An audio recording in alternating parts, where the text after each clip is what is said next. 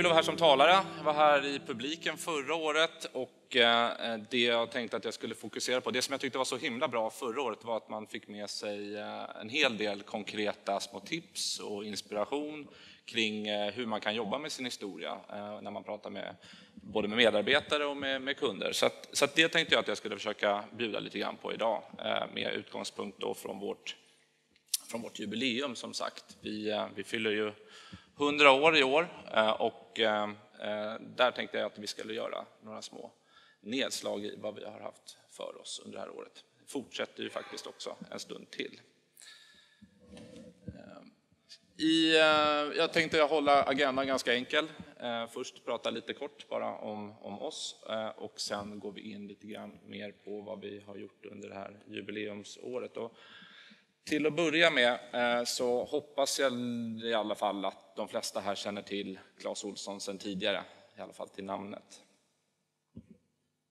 Ja, det ser bra ut. Vi har 99 procent i varumärkeskännedom i Sverige, så det borde vara en hyfsat bra hitrate även i det här rummet. Ehm, och eh, eh, det man kan säga om oss är att vi är ett detaljhandelsföretag. Vi grundade i Insjön i Dalarna. Är det någon som har varit där? Ja, också bra. Det här gillar jag. En bra start känner jag. Vi har fortfarande vårt eh, huvudkontor eh, i Dalarna, eh, i Insjön. Där har vi också vårt, vår distributionscentral, eller vårt centrallager, som servar alla våra butiker och våra e-handelskanaler. Med tanke på publiken här idag så kan man ju också tipsa om att vi har ett museum i Insjön, där vi berättar om, om vår historia. Titta gärna förbi där om ni är vägarna förbi. Butiken också, viktigt att ni butik, besöker om ni är där. Som sagt, eh, företaget grundades eh, 1918 av Clas Olsson. Han stavade sitt namn med två S på den tiden. Eh, ändrade det 1944. Kan det stämma? Anders, var vi dig? Ja, tack. Anders på Centrum för näringslivshistoria som har stenkoll på vår historia nu efter, efter intensivt jobb här i ett och ett halvt år någonting. Eh, företaget började egentligen som en eh, cykelverkstad som, som Clas Olsson tog över efter sin, efter sin bror. Eh, men det som är starten för det moderna Clas Olsson, om man får uttrycka det på det sättet, det är 1918 då Clas bestämde att det här ska bli en postorderverksamhet. Eh, och eh, det han från början sålde var tekniska manualer och instruktionsböcker, men ganska snart kom även produkter in i sortimentet. Och eh, en sån produkt som vi är lite stolta över att berätta om att vi var tidiga med, det är radioapparaten som gjorde att vi vi gjorde ju eh, radion tillgänglig för, för många, eh, både i termer av tillgänglighet för att du kunde köpa den via postorder oavsett var du bodde i landet och att den låg bra till i pris. Ehm, och ehm, Clas Olsson själv, han var ju eh, verksam i bolaget eh, under en lång tid, ända fram till han gick bort 1979. Och det har ju präglat vårt företag eh, väldigt mycket. Ehm, han, han, vi kallar det för Clas Ohlson-andan och det lever kvar väldigt mycket även idag. Och vad är det? Det är lite svårt att ta på kanske, men, men jag brukar tänka så här att Clas Ohlson, han, han tog eh, alla sina anställda i hand varje morgon när de kom in till kontoret. Han visste vad som försiggick i deras liv. Eh, och eh, samma sak med kunderna. Han var oerhört intresserad av sina kunder. Och att vi idag pratar om kundcentricitet och sådana begrepp, det var ju en ren självklarhet för, för Claes redan från början. Och oavsett hur mycket han hade att göra på, på kontoret så började han varje dag med att, att svara på, på alla de brev han fick från, från, från kunderna. Eh, så det var hans första prioritet på morgonen varje dag.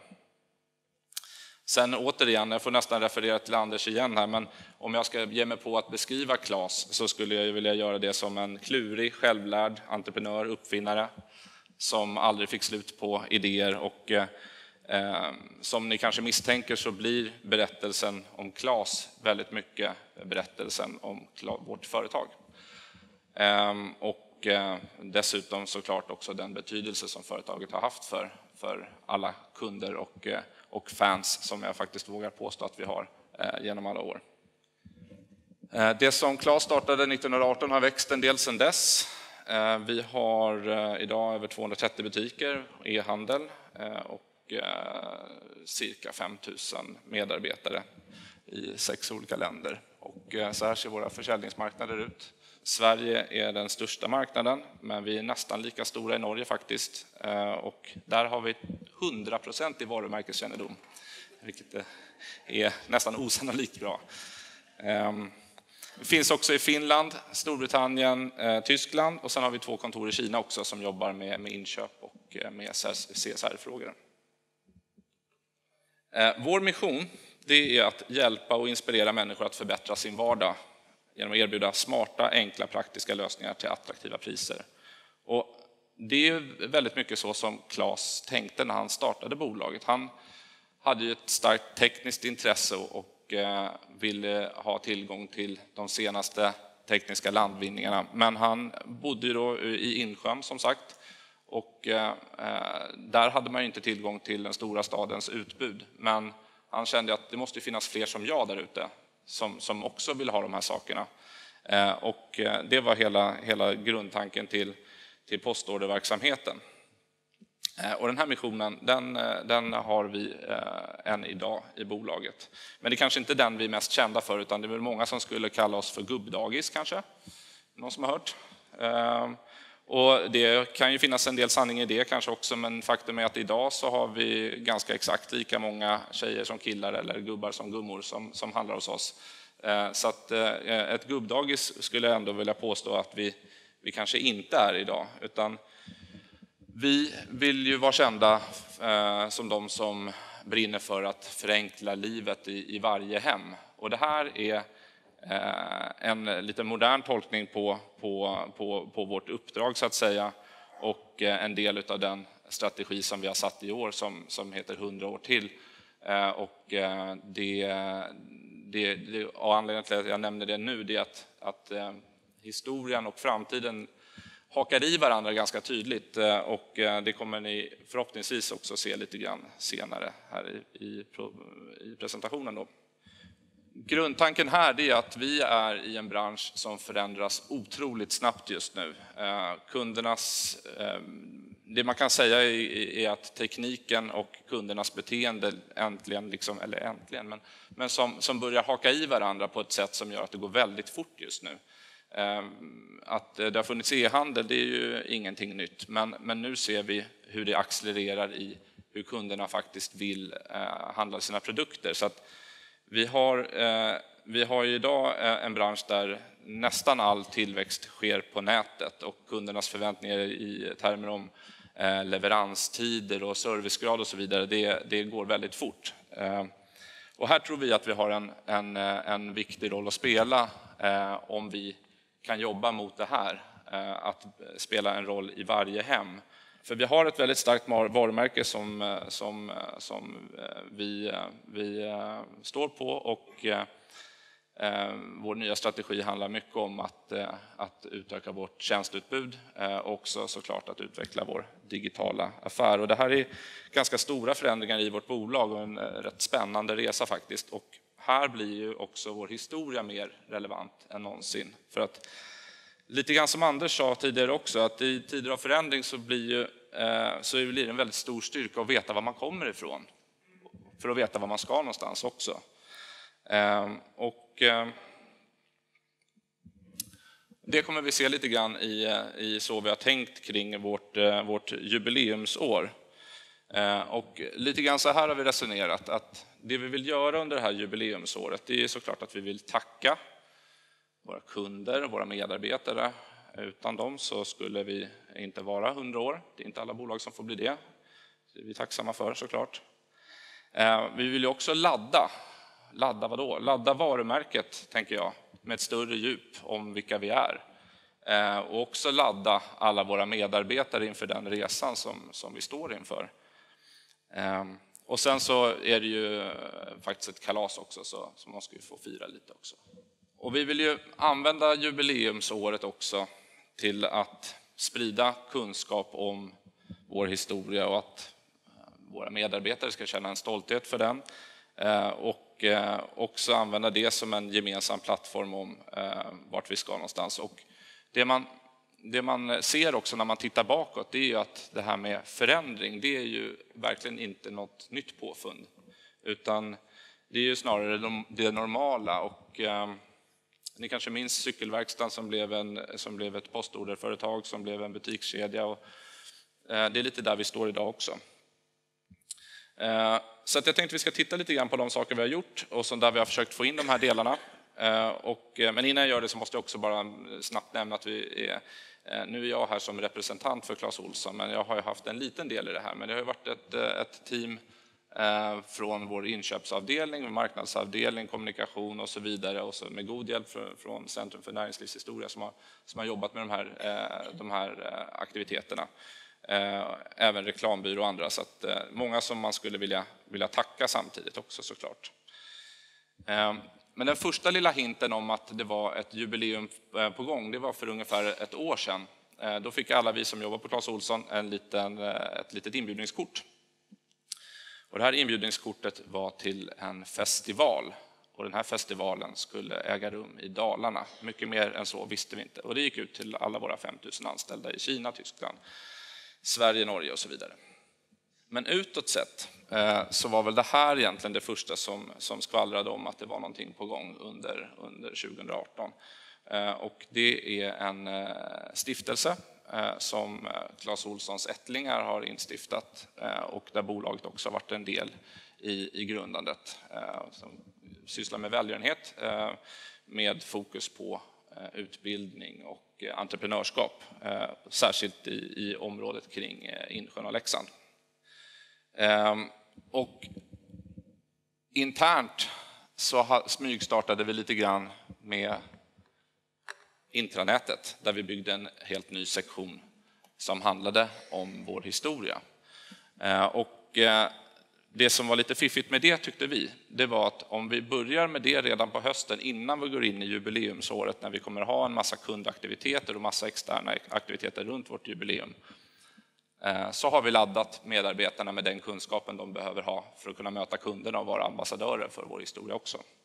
Så på den här eh, sektionen så fanns det dels eh, medarbetarhistorier, eh, vi har lyft fram produktfavoriter genom tiderna och andra historiska nedslag som vi tycker kan vara värda att känna till. Det här är bara ett litet, en skärmdump på, på den tidslinje som byggdes där. Och det här var nästa lilla frontrunner som vi kallar det. Det här är vi fortfarande inte inne i jubileumsåret men vi kunde inte riktigt hålla oss från att släppa Clas Olssons första podcast någonsin som handlade om vår historia. Om vi kan få bara en liten, jag behöver inte presentera den själv utan vi kan låta Malin göra det. Det här är Älskade prylar, en podcast om oss, om historien, om de senaste hundra åren och de prylar som utvecklats med oss. En podcast från Clas Olsson med mig, Malin Åkersten och min pappa Ulf. Under de kommande tio avsnitten kommer vi berätta om hundra år av svensk historia. Vad det var som hände, varför det hände och vilka prylar som var avgörande just då. I det här första avsnittet kommer vi berätta om 20-talet. Så lätt det. Och eh, måste säga bara, nu är jag kanske lite part i målet, men jag tycker Malin är en fantastisk programledare och hennes pappa Ulf är en fantastisk historieberättare. Så gillar ni, precis som jag, att lyssna på poddar hela tiden så, eh, så kolla in eh, Älskade prylar, den finns där, där poddar finns som man brukar säga. Ehm, sen kom det någonting med samma namn som ni kanske såg ute i entrén här också, Älskade prylar-boken eh, som släpptes lite lagom till, till julhandeln. Och det en riktig nostalgitripp med, eh, ja, som vi, en fantastiskt fin bok måste jag säga, som vi är väldigt stolta över och som har blivit väldigt uppskattad av våra fans. Eh, det finns eh, krönikor från Lasse Åberg, Edvard Blom, Maria Blom, Ernst Kirchsteiger med flera och ett excellent redaktörskap av Anders Landén på Centrum för näringslivshistoria. Eh, så kolla gärna in den. Eh, den ska jag nämna också, det var Anders väldigt noga med, att den är nominerad till Svenska designpriset och röstningen är öppen. Så om man går in på då www.svenskadesignpriset.se så kan man rösta på den här boken och så kanske den kan få eh, en, en, ett fint litet pris här i slutet av oktober. Det hoppas vi på. Ehm, ja, det där var som sagt våra frontrunners då, eh, de, det som kom lite grann innan själva jubileumsåret började. Eh, men nu eh, går vi in i 2018 och då tyckte vi det var dags att vrida upp volymen lite ytterligare. Och även om det inte är någon volym alls på den här, men det är faktiskt medvetet. Jag låter den här bara rulla i bakgrunden. Vi har ju pratat lite grann om kunskap tidigare och det här är då Best in Class, som vi lite fyndigt har eh, döpt den här tävlingen till, eh, som handlar om Clas Olsson. Eh, en kunskapstävling som, som vi rullade igång efter nyår, ehm, som också blev en ordentlig snackis på företaget och någonting som skapade ett otroligt engagemang. För varje vecka så var det en ny deltävling med ett antal frågor som man kunde svara på på intranätet. Eh, varje vecka kom det också en resultatlista där man kunde se om man låg före säljchefen eller inte. Eh, och det blev eh, både ute i butikerna och på, och på DC och, och, på kontoren så var det här någonting som, man, som verkligen blev en grej under hela vintern. jag tror vi hade någonstans 1200 deltagare av våra 5000 anställda som var med, med och tävlade. Och, så det här var ett väldigt bra sätt att få ett engagemang kring vår historia också, för det blev ju verkligen det här Eh, vad svarade du på fråga tre? Nej, jäklar. Alltså, och så hade vi liksom en diskussion om företaget och företagets historia eh, varje dag på fikarasten och så vidare. Så det var någonting som jag skulle rekommendera att man tittar vidare på. Det behöver inte vara så avancerat heller. Det här, alla frågor, eh, en, en jätteduktig kille på vår HR-avdelning som, som gjorde det här från scratch. Så det, det, behöver inte vara, det behöver inte vara så svårt heller egentligen, utan, utan det går att göra helt in-house.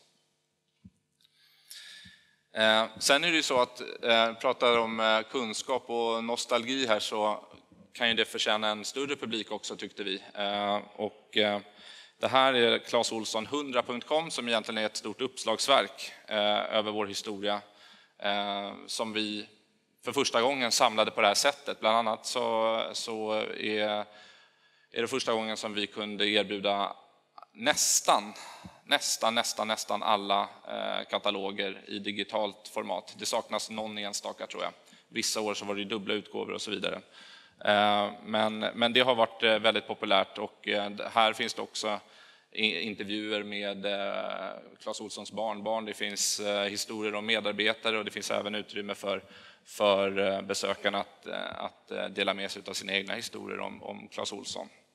Dessutom kan jag säga att det har varit en väldigt bra faktabank för oss att ha internt också. Man behöver kolla upp någonting, hur var det nu? Då finns det där ofta. Och jag hänvisar faktiskt ofta eh, journalister och andra också till, till eh, Clas Olsson 100 just när man vill ha någon faktauppgift om någonting som hände för, för länge sedan. Så att, eh, den är väldigt bra att ha. Eh, men framförallt så är det kanske då de här mer inbitna fansen som, som, som uppskattar och bläddrar i kataloger och sådär från, från eh, 50-talet och liknande. Men sen så har vi funderat också på hur eh, vi är ett företag som har en väldigt bred kundbas och hur ska vi prata med en bredare publik om vår historia? Och där kan jag säga att där testade vi oss fram lite grann. Vi hade några teser där om vilka, vilka spår vi skulle kunna gå på. Vi, vi pratade dels om Eh, kan vi skapa ett engagemang kring att prata om framtida produkter? Vad vill man se för produkter i framtiden och så vidare? Eh, vi hade ett annat spår som handlade om eh, produkten som vardagshjälte. Alltså vilka produkter har vi i hemmet idag som man, som man inte klarar sig utan och, och, och verkligen uppskattar? Och sen så testade vi också med lite mer rena historiska anekdoter. Och det här kunde man ju AB-testa ganska enkelt i sociala medier genom att köpa sig lite, lite, lite räckvidd. Och, eh, och där såg vi att det blev eh, ett otroligt engagemang just runt eh, produkter som vardagshjältar. Det var någonting som verkligen engagerade. Man vill gärna berätta om vilken produkt som, som gör livet enklare i hemmet idag. Och för oss så passar det här ganska bra. Det är ju det är rätt passande för oss att få hylla den där produkten som kanske inte alltid är den glammigaste eller häftigaste, men den som faktiskt eh, spelar roll i vardagen och gör vardagen lite enklare. För det som jag sa, det är lite grann det är det vi försöker göra på Clas Olsson, eh, det företaget handlar om. Ehm, och sen så har det här konceptet eh, med produkter som vardagshjältar tagit sig lite olika uttryck och jag tänkte att vi ska bara titta på några av dem. Först här så har vi en, det här är bara ett exempel på, från en serie av filmer som vi gjorde där, där vi kopplade ihop nutid och dåtid och med, med produkten som vardagshjälte i centrum. Och om vi tittar på den här först så ska, kan jag förklara lite grann vad som hände sen i den här. Vad är det bästa ni vet? Om du inte haft kameran där, då hade jag sagt dricka pilsner och lyssna på Oasis. Hamra krog är ju väldigt speciellt för det ligger ju väldigt långt ut på södra Gotland. Det finns inget som tar min energi här, utan den finns kvar. Jag kan bara fylla på hela tiden. Krogen har blivit lite som en knutpunkt, så många kommer liksom också ensamma och träffar, vet att det alltid finns någon. Och de mötena är ju helt fantastiska, tycker jag. Det känns nog ganska äkta och genuint, ja. som kommer ja, men lite som hem till oss. Liksom. Och det vi tycker är fiffigt med det här, det är att det här är då eh, ett par som, som har valt att flytta till södra Gotland och, och driver krog där. Eh, och de är, är ju eh, väldigt beroende av distanshandel för att få vardagen att gå ihop. Så att vi kan berätta den historien eh, genom deras historia och de produkterna som får livet här att fungera också. Eh, må det vara kaffebryggaren eller vad det nu kan vara. Så, och, så vi har gjort en del, vi har gjort en serie sådana här filmer som, som kopplar ihop nutid och dåtid på det här sättet och eh, där vi kan blicka tillbaka på, på vad, vad Claes tänkte och hur, och eh, hur företaget har tänkt genom åren. Ehm, en annan vardagshjälte Limited edition, där har vi gjort produkter utav det helt enkelt. Men är det jubileum så är det ju också lite guldkant Eh, såklart eh, och en begränsad upplaga. Så den första serien med limited edition-produkter släppte vi i juni och det kommer en ny här i slutet av september också. Och där har vi tagit de vardagshjältarna från förr och egentligen så handlar det här sortimentet ganska mycket om att plocka upp eh, dels gamla kundfavoriter och storsäljare, men också lite blinkningar tillbaka till, till vår historia. Det, det, ni ser en cykel där till exempel som, som tillbaka till, till cykelverkstan. Så, så vi har sett det som en, en, en hyllning till, till vår grundare och hans eh, signatur finns ju på de här produkterna också såklart. Och eh, jag tror att om allting har gått bra med logistiken ska det ligga något litet, eh, liten sån eh, överraskning i, i goodiebagen när ni går härifrån sen också, från den här serien. Och vi är ju ett, ett retailbolag så vi firar ju såklart med, med, med våra kunder på, på, på retailvis genom att ha en hel del bra erbjudanden till, till kunderna. Det har vi haft eh, under ett antal kampanjer under året.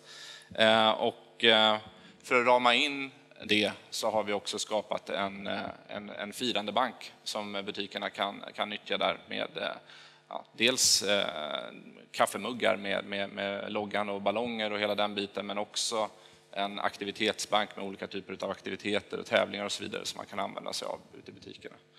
Ehm, så här har det sett ut lite grann, eh, till exempel på vår födelsedag i juni som vi firade med, med en ordentlig kampanj, eh, men också med, med aktiviteter riktade till familjer och barn. Och, eh, det var, det var en riktigt rolig dag ute i butikerna och riktigt bra försäljning också, tyckte vi var kul. Ehm, och det kan också se ut så här i butikerna härifrån Drottninggatan till exempel, eh, där vi har ett litet minimuseum och eh, där vi pratar om vår historia. Eh, det här stora bordet han står vid där är, också, det är en jättestor touchskärm så att man kan vara inne på Clas Ohlson 100 och titta och läsa i katalogen och så vidare. Och sen då, den här har jag redan nämnt ett par gånger och det, det man skulle kunna nämna också är att även Festival 100 är, är nominerat till Svenska designpriset som ni går att rösta på det här också faktiskt, om man skulle vilja göra det. Det är alltså www. Nej, jag ska inte. Um, men uh, ja, nej, men den här festivalen som jag har nämnt då. Uh, vi bjöd in 5 000 medarbetare från, eh, från alla våra marknader och 3 500 dök upp i Tällberg för tre veckor sedan. Eh, och det var alla, de kom från, från Kina och Tyskland, Finland, Sverige, Norge.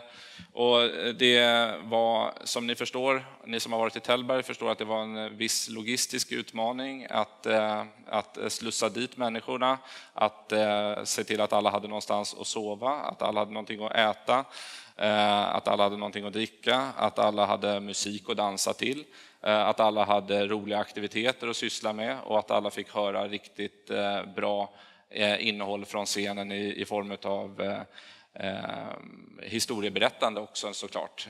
Vi hade pratat om hur vi har, har växt genom åren och, tagit, och tog dit tidigare och äldre medarbetare som fick berätta om, om vår resa.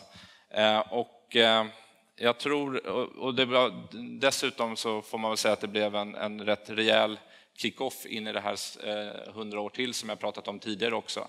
Att vi fick samla, eh, samla eh, våra medarbetare på det sättet kändes väldigt speciellt och eh, Ehm, blev faktiskt, hoppas jag, minne för livet för många. Ehm, det blev det för mig i alla fall. Sen dess har vi hunnit eh, fira lite grann med eh, lokalsamhället också eh, i Insjön, Leksand. Ehm, vi hade årliga Klaskalaset, eller det som brukar heta Insjödagarna, men det fick heta Klaskalaset för just i år.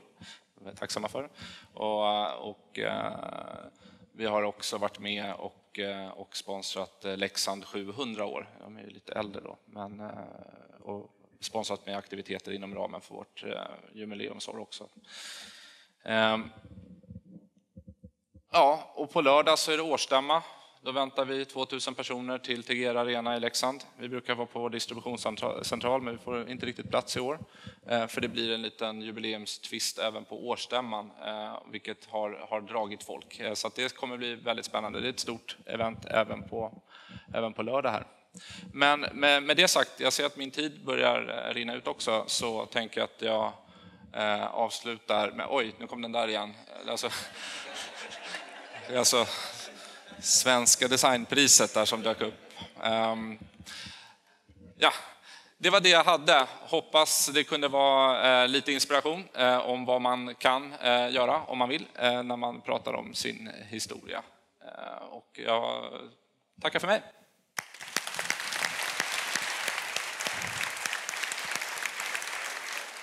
En fråga från mig apropå mm. den här balansen mellan, det är ett jubileumsår, det är massa aktiviteter men det är mm. fortfarande business as usual, det ska sälja saker. Hur har ni balanserat den här kommunikationen med vanlig marknadskommunikation? Ja, men vår vanliga marknadskommunikation eh, är ju, nu har vi, eh, kanske ni har sett en, en ny kampanj som börjar rulla nu, så där, vi, där vi mer tar, eh, apropå det som du sa tidigare om, eh, om att ta ställning, där vi pratar om mobiltelefonanvändandet och är du verkligen hemma när du är hemma och att vi pratar om den typen av frågor. Eh, annars pratar vi ganska mycket produkt och pris traditionellt sett, precis som alla andra i branschen. Eh, så att det rullar ju på som vanligt, men sen har vi haft de här kampanjerna som har varit kopplade till, eh, kopplade till jubileet också. Eh, så att det, har, det har gått att växeldra, absolut. Men vi har haft liksom särskilda nedslag när vi har sagt att nu pratar vi jubileum i vår kalender, så att säga. Sista fråga. Ja följa upp de eh, interna aktiviteter ni har gjort? Hur ska ni mäta vad det har givit era medarbetare engagemang? Det, har, det gör vi eh, dels med en eh, större medarbetarundersökning som, som ligger ute nu där vi, där vi tar in synpunkter, men sen har vi också haft enskilda eh, mätningar på på de här aktiviteterna, särskilt festivalen och andra större aktiviteter då, där, vi, där vi frågar medarbetarna vad de tycker. Eh, men det här är ju fortfarande, det är så pass nytt så att vi, resultaten av det har vi inte fått än, men, eh, men det gör vi. Niklas, stort tack igen. Tack så mycket. Tack.